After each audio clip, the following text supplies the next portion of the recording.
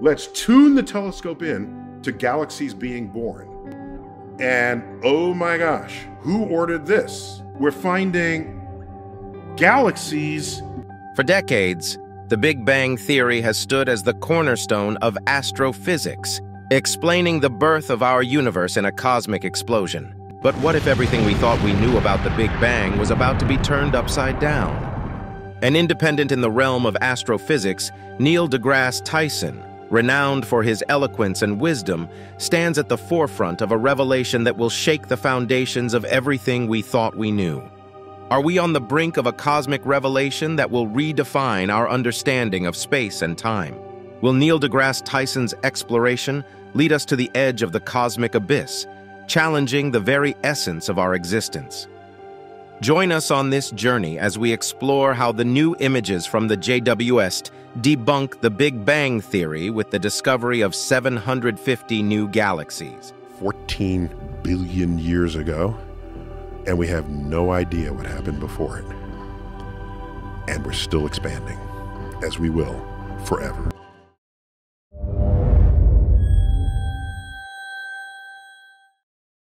Scientists believe in the Big Bang Theory, which explains how our huge universe began about 14 billion years ago. According to this theory, the universe came to be through a mysterious celestial event. The James Webb Space Telescope has captured some surprising images that challenge what scientists thought they knew about the universe's origins. The images show galaxies that seem too small, too smooth, too old, and too many compared to what the Big Bang Theory suggests. This is a big deal because, for a long time, most scientists thought the Big Bang Theory was the absolute truth about how the universe started. But these unexpected galaxies are throwing a curveball into that idea. The problem is, according to the Big Bang Theory, as the universe expands, things should look bigger the farther away they are. However, the observed galaxies don't follow this rule. They're smaller than expected. So, scientists are scratching their heads and rethinking what they know about the beginning of our big universe. In the very beginning of everything, all the stuff that makes up the universe, like matter, energy, and the basic building blocks, was squished into this super tiny and super packed point. This point is called a singular singularity. This idea comes from what we know about how things work in physics, especially the ideas of Albert Einstein. In this super packed point, all the stuff in the universe is crammed together in a really tight way because it's so packed, there's a crazy amount of mass and energy in this tiny space. And because it's so tiny and packed, it gets really hot. In our current understanding of the universe, there was this super hot and super packed point that held a bunch of energy. After this super packed starting point, the universe began its big journey of getting bigger and spreading out. This took a really long time, around 13.7 billion years.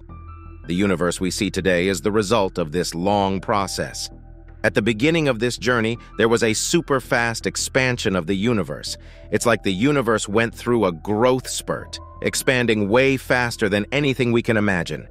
Cosmic inflation played a huge role in shaping how the universe looks.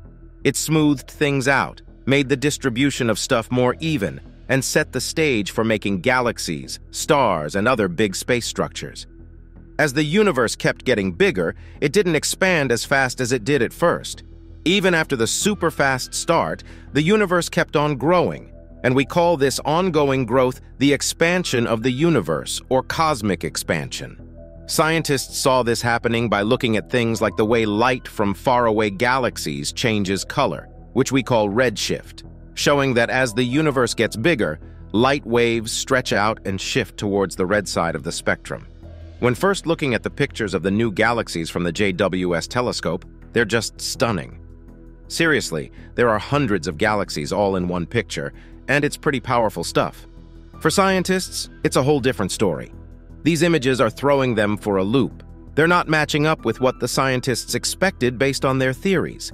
In fact, there are way more galaxies than they thought, and these galaxies are turning out to be quite different. They're not as bumpy, they're smaller than what was imagined, and they're really old. All these unexpected surprises are making the scientists a bit anxious. There's even a paper with the word panic in its title, so it's a big deal. The galaxies are basically giving the scientists a curveball. They look nothing like what was supposed to be the norm, and the ages of these galaxies are turning out to be incredibly weird. The cool pictures taken by the JWST show some really old galaxies, and it's surprising. This messes with what scientists thought about how galaxies formed and grew after the Big Bang. According to the usual ideas, there should be a certain number and arrangement of galaxies, but these pictures show way more galaxies than expected. It's like the predictions made by the Big Bang idea might not be quite right. Also, these galaxies look way smoother than they're supposed to be.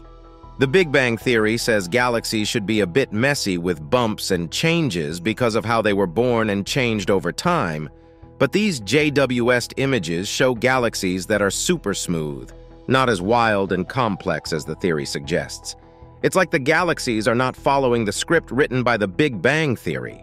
As the universe stretched out, everything that made up our world was crammed into this super tiny space. It was obvious that regular stuff couldn't survive like that in space, so something had to change. As the universe got bigger and cooler, things started happening. Particles like protons, neutrons, and electrons began to mix up with light and energy around them. These interactions played a big part in how stuff formed in the universe during the first few minutes after the Big Bang. There was this cool process called nucleosynthesis. It's a fancy word for making lightweight elements like hydrogen and helium. The hot temperatures and conditions during this time let protons and neutrons join forces to create these basic building blocks. Hydrogen, the simplest and most common element in the whole universe, got its start mainly during this early period. Even helium, the second most common element, made its debut around the same time. These ingredients played a huge role in getting everything ready for stars, galaxies, and more complicated stuff that showed up later in the universe's history. Mixing these basic elements was a big deal. It marked a turning point from a wild mix of particles and energy in the early universe to a time when matter started taking shape. This laid the groundwork for the wide variety of stuff and the huge celestial structures we now have. Even the Big Bang thinkers expected to see galaxies all messed up from lots of crashes, but the JWST pictures tell a different tale.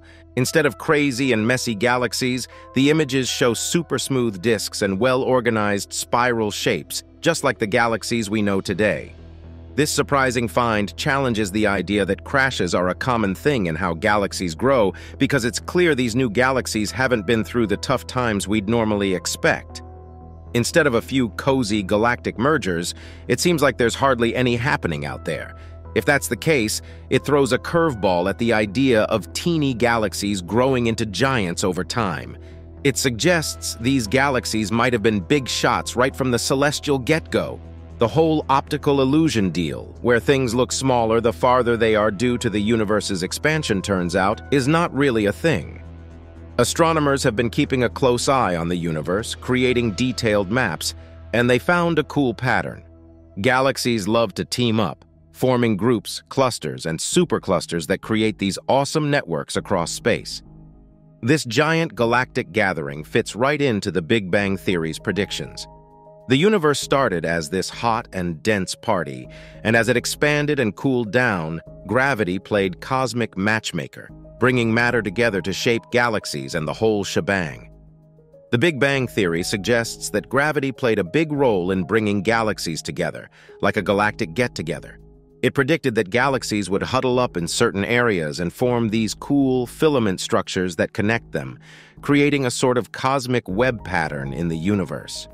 When we look out into space, we actually see these galaxy clusters and the interconnected web of matter, just like the theory said we would. It's like the universe is following the script written by gravity. The way galaxies clump together, the cosmic web structure, it's all a thumbs up for the Big Bang Theory. The James Webb Telescope found galaxies that are way bigger than expected. These findings challenge what we thought was the norm and make us rethink our cosmic reality, according to the Big Bang enthusiasts. The JWST has been keeping an eye on these galactic collisions. Surprisingly, it's not finding the expected dents and evidence of these celestial accidents. It's like expecting to see scratches on our magical toy cars after all the crashes, but they appear surprisingly smooth and dent-free. The Big Bang Theory isn't just a clever name. It's backed by some pretty convincing proof.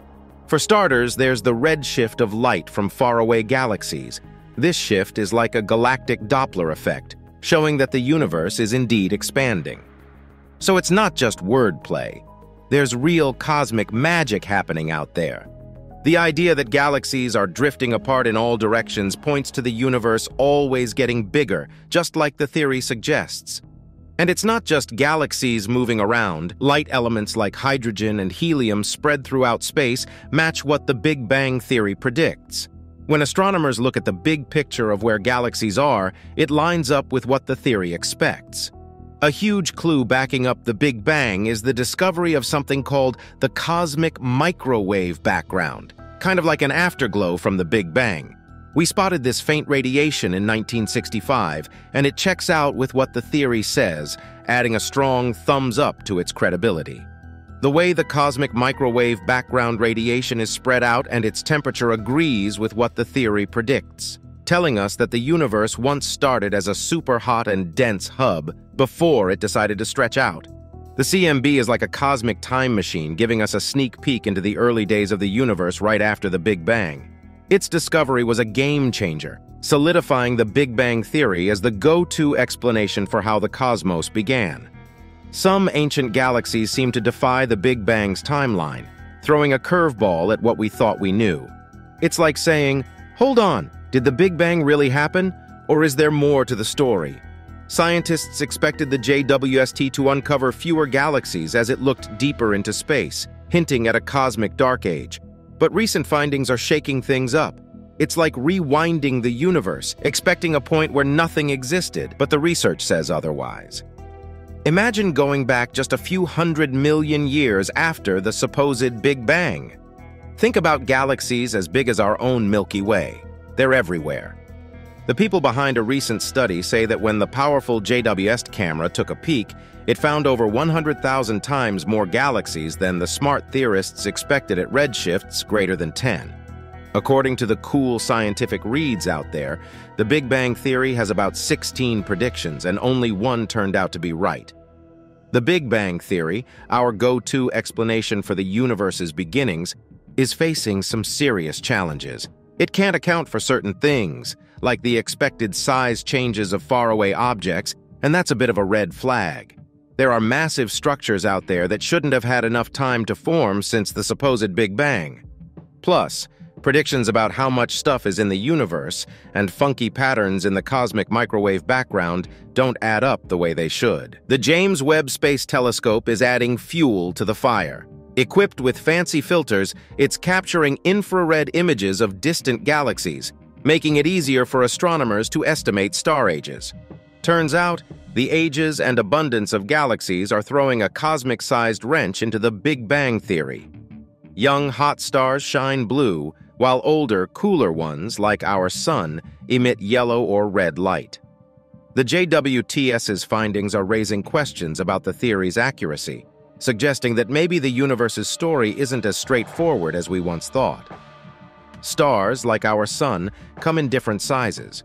Some, the big ones, burn their fuel slowly and can last for a whopping 10 billion years. The color of these stars isn't just for looks, it helps us figure out how old they are right away.